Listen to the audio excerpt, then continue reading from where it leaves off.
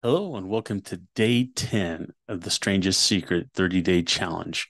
I'm your host, Chuck Marting, and today we're going to embark on a journey that's deeply rooted in the belief that what we can conceive, we can achieve. It's all about the power of vision. So, in our daily lives, we often get caught up in the whirlwind of tasks and responsibilities. We move from one thing to the next, and sometimes we lose sight of what truly matters but today, we're going to take a step back and ask a fundamental question What do you want your life to look like? You see, the mind is a remarkable instrument, but it needs direction and it thrives on clarity and purpose. And that's where the power of vision comes in. So when you can vividly see your goals and your dreams, you're giving your mind a roadmap to, to follow for you. So let's get practical. Today, I want you to create a vision board.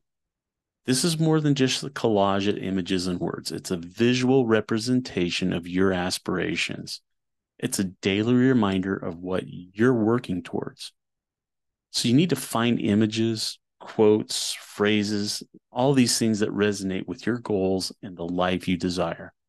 Whether it's a picture of your dream house, a quote that ignites your passion, or an image that symbolizes success, every element of that vision board should speak to your heart.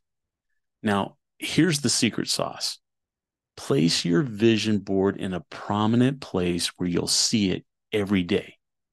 Let it become a part of your daily routine. So each time you look at it, take a moment to visualize yourself living the life it represents. So, why does this matter? It matters because when you con- consistently expose your mind to your vision, it starts working behind the scenes to make it a reality. Your brain is a powerful problem solving machine. So let's draw inspiration from those who have harnessed this power of vision. Jim Carrey, the celebrated actor and comedian who wrote himself a check for $10 million for acting services rendered long before he even achieved success. You see, he looked at it daily, and years later, he earned exactly that amount for his role in the film Dumb and Dumber. Sarah Cantrella is an author and a life coach, and she used vision boards to manifest her dreams. She transformed her life from a place of struggle to becoming a published author, traveling the world and living a life she loves. Now, these examples prove that the power of vision goes beyond wishful thinking. It's a tangible force that can shape your destiny. So, as you embark on creating your vision board today, I want you to infuse it with emotion. Feel the excitement, the joy, and the determination that comes with achieving your goals. Believe in your vision as if it's already happened.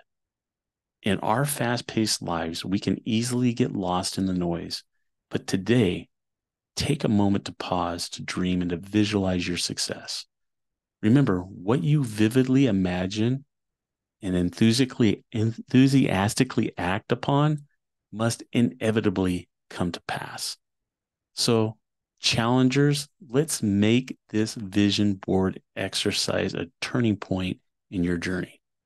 Embrace the power of vision, keep it alive every day, and watch how it propels you closer to your goals. Tomorrow, we're going to dive into the importance of setting specific goals, the kind that act as a signpost on your path to success.